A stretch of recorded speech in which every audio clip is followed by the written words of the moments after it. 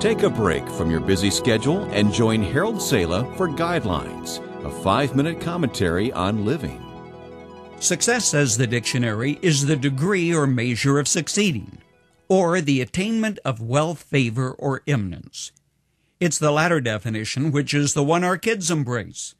Success is the shiny new car, the most sophisticated computer, the Rolex watch, or at least something stylish and better than the Timex variety.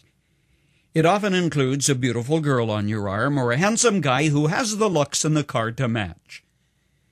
A student magazine focused on the growing tragedy of suicide among college students, something which has reached epidemic proportions everywhere.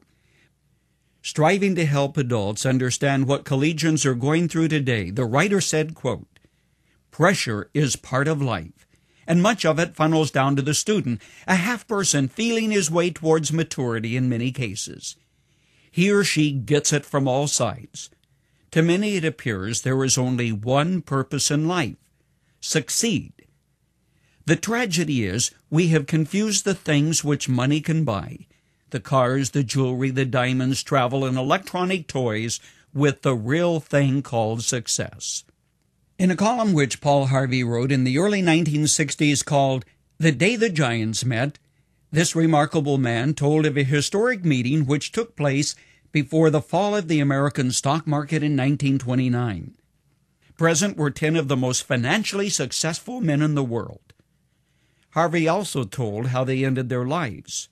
Some died in prison, some died as fugitives, some committed suicide, and some died financially destitute. But this only brings us to a moment of reflection as I ask, what is success? And how do we convey the right answer to a generation growing up who often see large gaps between what their parents say and what they do? Success is seeking and finding and doing the will of God for your life, discovering His purpose for existence, then setting goals and objectives which are pleasing to Him. This, of course, means a complete about face in our thinking, and understanding that success, the real kind, is not necessarily the equivalent of reaching the top of the pile. It's not easy to do that.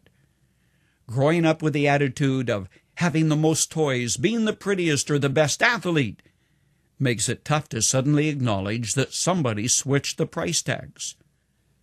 Workers who come home with dirty hands and empty stomachs can think of themselves as accomplishing God's purpose, as well as the single mom who struggles to hold down a job, get three kids through school, put food on the table, and clothes on the backs of her offspring without help, can and do succeed.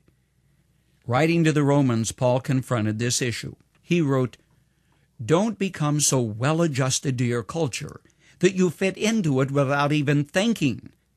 Instead, fix your attention on God. You'll be changed from the inside out. Readily recognize what He wants from you and quickly respond to it. Unlike the culture around you, always dragging you down to its level of immaturity, God brings the best out of you, develops well formed maturity in you. And the only way that is possible is to get God's point of reference, His point of view. We must acknowledge that as long as our attitudes, reflect the pagan culture in which we live, we'll never find the peace or fulfillment that comes through fulfilling God's purpose, which is real success. Think about it, and then ask yourself Have I really succeeded, at least in God's eyes?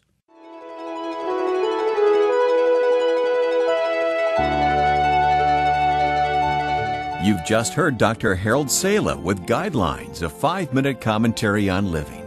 If you would like to listen to the program again, download a copy, subscribe to our e commentary, or view other resources, visit guidelines.org. We would like to hear from you too.